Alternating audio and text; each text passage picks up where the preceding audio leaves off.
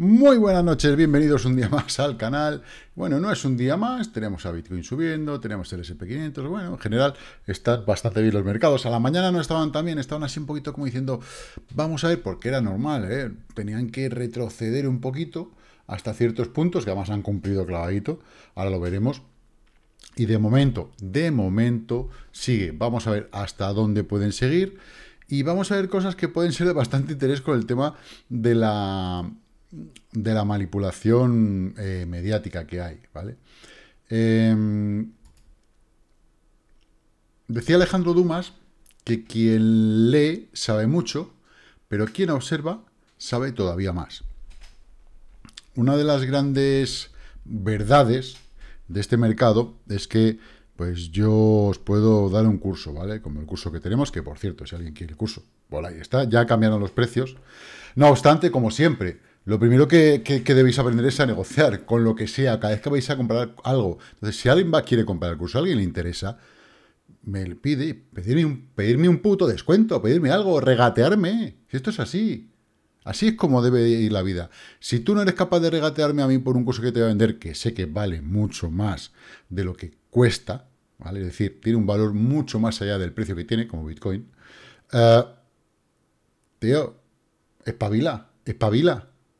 Que no, quiero curso, dame un descuento. Y cúrratelo un poco, cúrratelo, venga, dame la bola, yo qué sé, haz lo que quieras, pero cúrratelo, ¿vale? Entonces, como decía Dumas, quien lee sabe mucho, pero quien observa sabe todavía más. ¿Por qué digo esto? Porque hay mucha gente que lee mucho por internet, por ahí, por, todos los sitios, es autodidacta.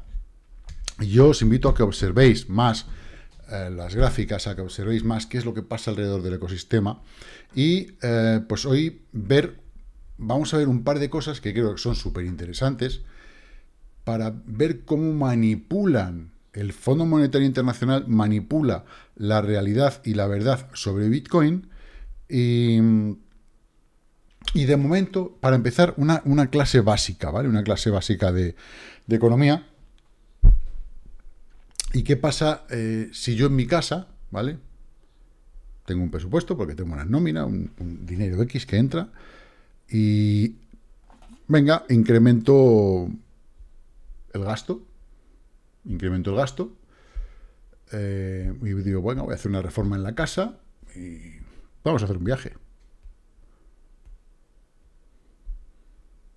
A pesar de que posiblemente el mes que viene me echen del trabajo o tenga menos dinero. Haga lo que haga, aunque ingrese exactamente lo mismo, si yo subo mi gasto, voy a tener un déficit. Es decir, voy a estar en negativo, voy a estar en números rojos.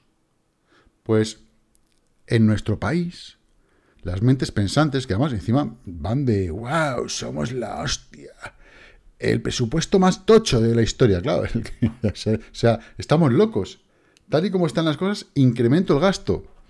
Eh, han subido el gasto público. Los ingresos bajan. Les están dando por culo porque hay gente que se va fuera. Tú subes los impuestos, con lo cual la inversión baja y el paro va a subir. Esto es una realidad. Y encima están subiendo los tipos de interés, con lo cual la economía se ralentiza. Y estás haciendo un cálculo de presupuestos para el año que viene que ya per se no te lo crees ni tú. No te lo crees ni tú, pero bueno, el presidente más mentiroso de la historia, ¿qué le vamos a hacer? Eh, es flipante, ¿vale? Pero eso es una es, economía de básica, o sea, pero básica, básica, básica. Claro, gastas más, ingresas menos, ¿qué tienes? Deuda. ¿Y quién la va a pagar? Iba a decir su puta madre, pero la vamos a pagar nosotros. Así que bueno, vamos a comenzar con Bitcoin, que si no me enrollo aquí, me, se empieza a salir la vena y no es eso lo que. Bueno, tener en cuenta que con lo que está pasando en el mercado es normal tener miedo, pero como decía aquel, tener miedo es de prudentes, pero saberlo vencer es de valientes. Venga, vamos a darle chicha y vamos a comenzar con el vídeo, que está la cosa hoy bastante, bastante interesante. Comenzamos.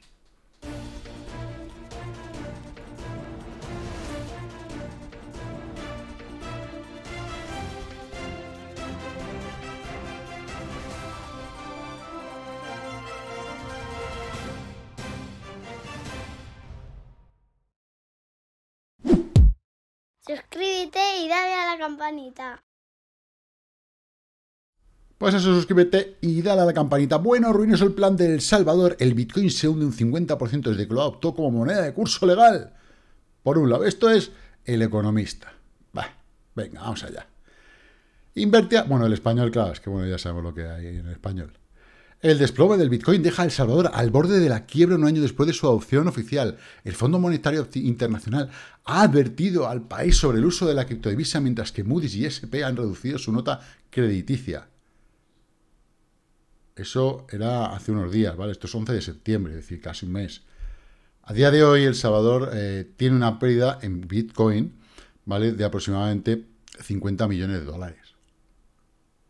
O sea, yo no sé si es que estos... Eh, mm, me estoy pasando otra cosa. Si estos eh, se inventan las cosas, les pagan para que se inventen las cosas, o son así de subnormales. ¿Vale? O sea, estamos hablando de Invertia en el español. Invertia, esto pertenecía a Terra en su día, Telefónica. Eh, de las .com que fallaron, pues mira, ahí está, la herencia. El Economista, el economista.es. Tío, es un diario más o menos respetado. Ciertamente em, eh, eh, respetable, ¿no? Hasta cierto punto, ¿no? Es como todo, hay que cogerlo con pinzas. Pero decir que un país que tiene que crece mucho más que el nuestro propio, que es uno de los países que más está creciendo en el mundo, un 10,5%, ha crecido. 4.000 millones de dólares más. Y me dicen que por 50 millones de dólares eh, se está hundiendo, está al borde de la quiebra. O sea, está, ¿estamos locos? ¿De verdad que estamos locos? Y la gente es que, lo peor de todo, es que se lo cree. O sea, eh, la inutilidad eh, de los medios de comunicación por, claro, evidentemente, el Fondo Monetario Internacional, ¿no? Eh, pero la, falta de, al final, es de educación, ¿no? Educación general básica de la gente es tremendo. Bien, luego por otro lado tenemos lo que tenía por aquí, en la agencia de la ONU advierte que la, sobre la recesión vinculada a decisiones imprudentes en política monetaria. A mí me hace mucha gracia, ¿no? Que ahora la ONU y todas estas entidades salgan a decir, los economistas de la ONU, los bancos centrales están llevando al mundo directo a una recesión. Eh, ¿Por qué no les dijeron esto cuando estaban imprimiendo dinero? ¿No? Ahora que va la ONU de... ¡Ay, yo soy aquí el ángel salvador! Cuando no ha salvado a nadie, nadie en su puta vida. Al revés. No sé, si alguien tiene alguna idea, que me lo diga, porque es que yo me vuelvo loco leyendo estas cosas. Imprudentes, decisiones imprudentes en política monetaria. ¿Por qué no le dijeron esto cuando estaban imprimiendo dinero? Oye, parar de imprimir dinero y de darnos dinero porque no lo queremos. Ah, que eso no, eso no entra. Si que repartieron los cerebros en el cole, había alguno que no estaba por allí. En fin, Señores, SP500, ¿qué está haciendo? Estamos en velas de 4 horas, fijaros cómo después de este pequeño retroceso, ¿dónde se ha apoyado? Pues en dos puntos importantes, confluencia, ¿recordáis que siempre buscamos confluencias? Bien, pues tenemos por un lado estos cierres de esta zona en 3.722, que no están solamente por eso, ¿vale? Vienen de, más atrás, pero bueno, 3.722 por un lado, justo se apoyaba ahí en la confluencia con la EMA 20, plas, clavadito. A partir de ahí ha empezado a rebotar, a seguir con el movimiento. Pero interesante, ¿cuál ha sido el retroceso? Pues tiramos de la herramienta de FIBO, ¿vale? Y el retroceso no ha tenido cierre por debajo de 0,20 y tantos, ¿vale? Está un poquito más arriba, 0,20, más o menos, ¿vale? Con lo cual, ¿qué quiere decir esto? Que el posible rebote que venga posterior, pues se nos puede ir fácilmente a la media de 200, zona de 3.900. Yo creo que en este movimiento es el, objetivo, ¿vale? El objetivo del movimiento en el que estamos tiene que ser la zona que hay entre los 3.879 y los 3.907 aproximadamente, ¿vale? Vamos a sacar... Em, eh, ¿por, qué, ¿Por qué creo que es esa zona? Este apoyo, esta zona de apoyo que tenemos aquí, con esta zona de máximos, con esta otra zona punto pivote, ¿vale? Creo que son lo suficientemente importantes, vamos a ponerle un rectangulito, ¿vale? Recordar, poner, esto es importante, ¿vale? Yo lo, mm, lo digo mucho a, a, los alumnos cuando me mandáis el ejercicio de soportes y resistencias, que recordéis poner siempre en, en zonas de este tipo rectángulos. Vamos a ampliarlo hasta aquí. Vamos a, vamos a hacer un poquito de zoom. ¿Por qué lo pongo de aquí? Lo pongo desde este apoyo, ¿vale? Esta zona que entra dentro de, la, de esta zona de mm, soporte en este momento.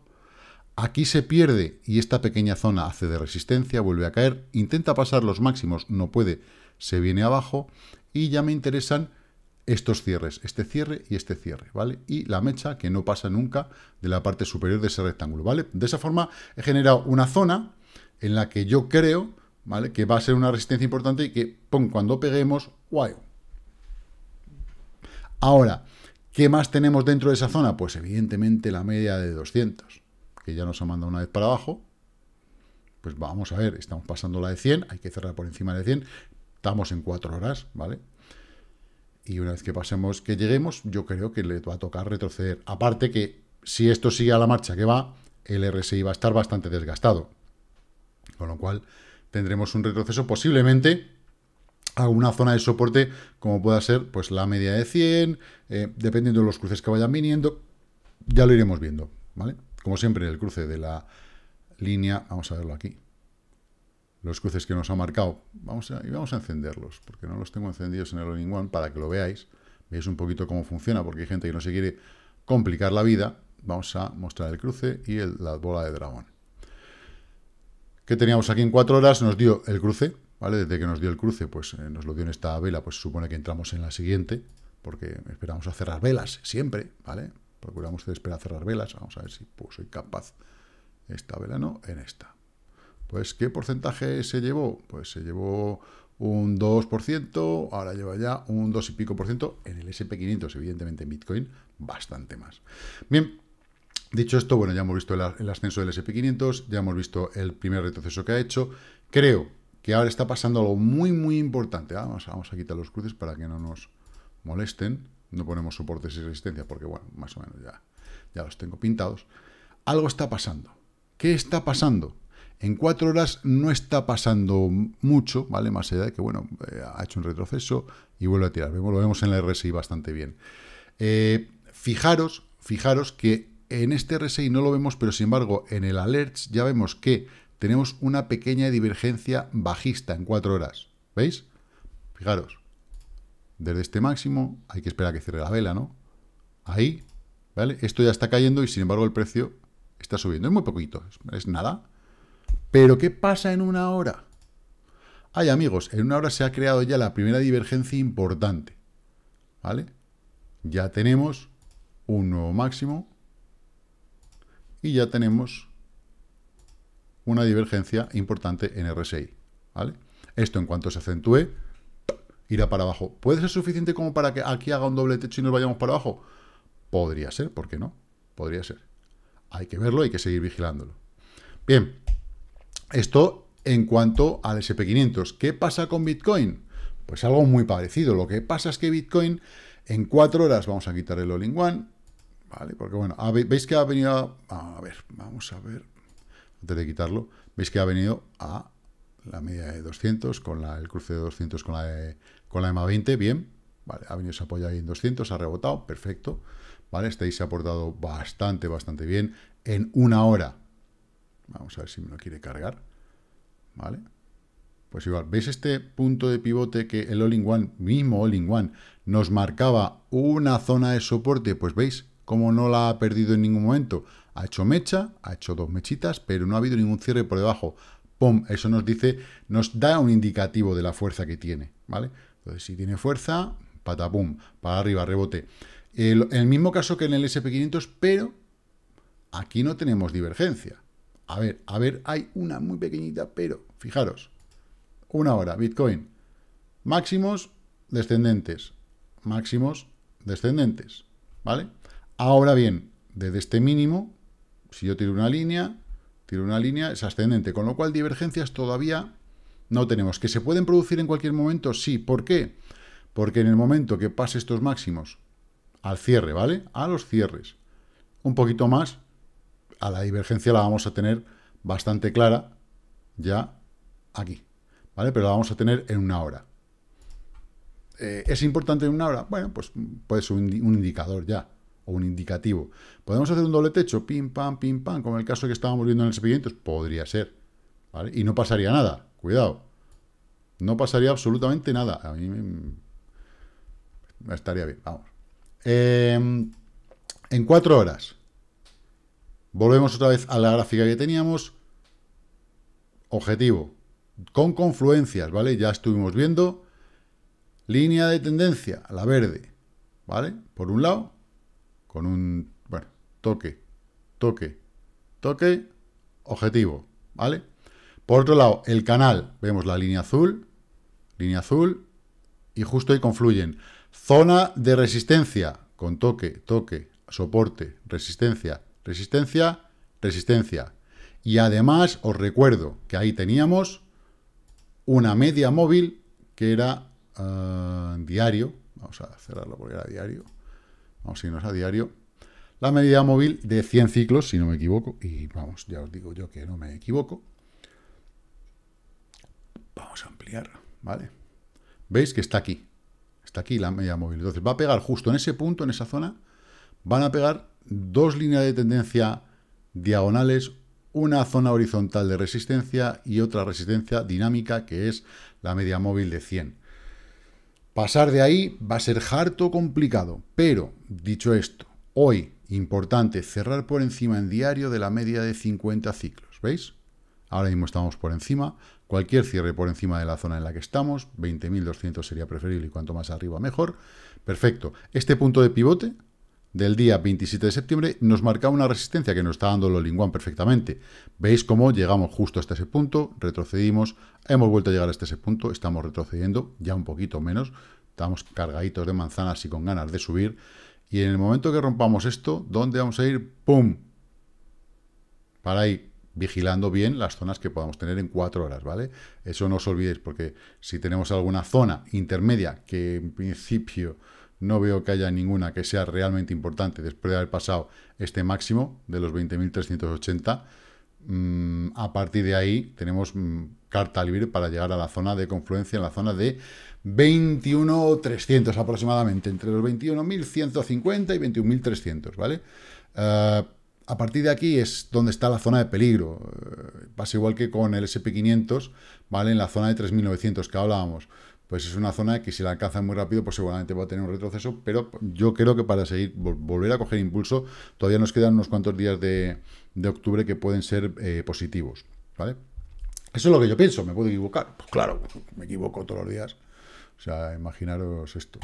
Bien, Ethereum, por su parte, en diario, bueno, estas cuatro horas, eh, fijaros que estaba ha hecho una caidinha, un retroceso y boom, como ha tirado bastante, bastante bien. En diario, ¿Qué nos hace falta Ethereum? Pues que pase la EMA 20. En el momento que pase la EMA 20 y ya empiece a ir a por zonas más altas, reventar la zona media del canal con esta línea de tendencia, esta línea verde que tengo aquí, oblicua, parece que es una gilipollez, pero es un mínimo súper importante, ¿vale? De mínimos anteriores del canal, fijaros, que viene desde septiembre del 21, ¿eh? cuidado, septiembre del 21, de más de un año tiene esta, esta línea de tendencia, ¿vale? Es un toque de mínimo toque de mínimo, toque de mínimo, toque de mínimo, reventón, otro apoyo, y ahora la perdimos y bueno, pues estamos intentando pasarla. Por eso está, está siendo tan complicado eh, esta zona para, para Ethereum. Creo que en cuanto la pase, eh, los 1500 los tenemos bastante asegurados, luego ya la zona de 1570-1600 es más complicada. Que llega a esta zona de resistencia... Todavía no lo veo, ¿vale? Va a depender de cómo sigan los mercados a lo largo de los próximos días, ¿vale? Eh, pero bueno, que bien por la vela de hoy, mm, cuanto más arriba mejor, evidentemente, y a ver si mañana es capaz de pasar la EMA 20 y pegar latigazo hacia arriba. El total market, bueno, pues ahí anda, intentando exactamente la misma vela que Bitcoin. Si esto no tiene, el total no tiene mucho secreto, depende de Bitcoin. Fijaros cómo ha llegado al 50% RSI en diario, y bueno, pues ahí está intentando romperlo. Si rompe esta línea y se acerca a la media de 100, que ya vimos cómo nos hizo aquí, la pasamos, soporte. La perdimos, resistencia, resistencia. Ay, estaría bien volver a pasarla y que luego nos hiciera el soporte para seguir subiendo un poquito. A ver si quiere, a ver si nos deja la dominancia de Bitcoin.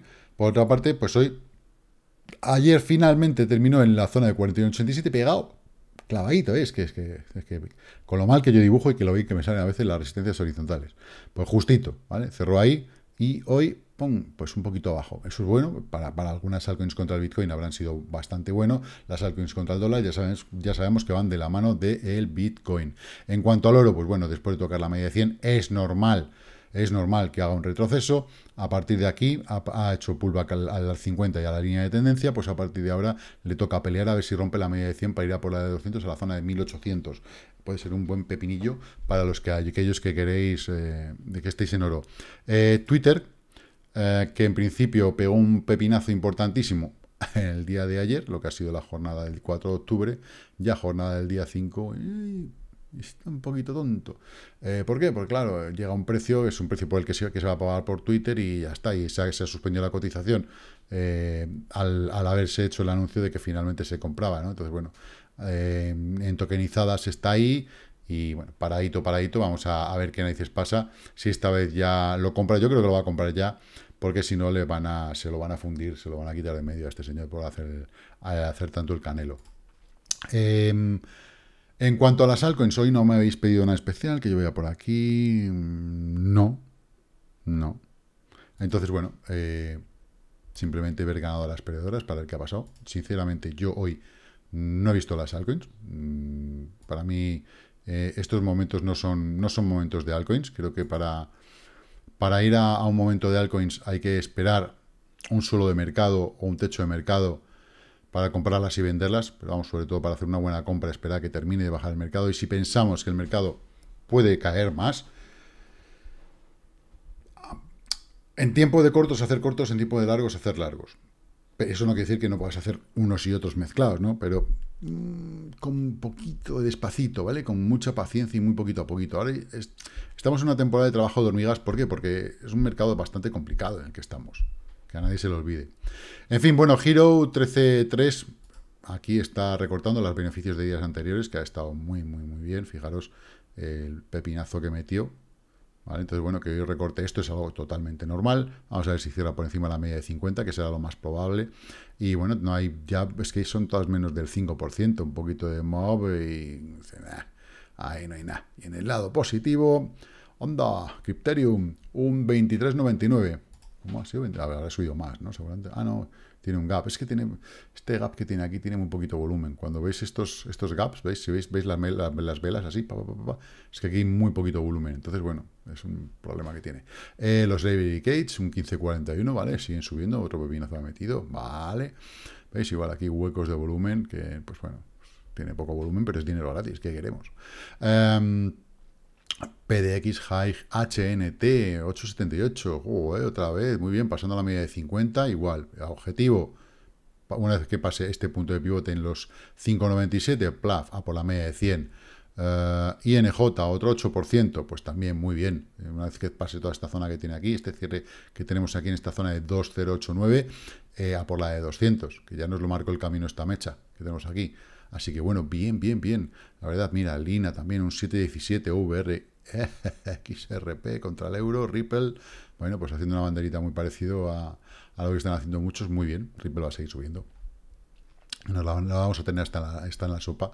Eh, Sushi, tres días seguidos subiendo, muy buenos, a 5% diario, pam, pam, pam.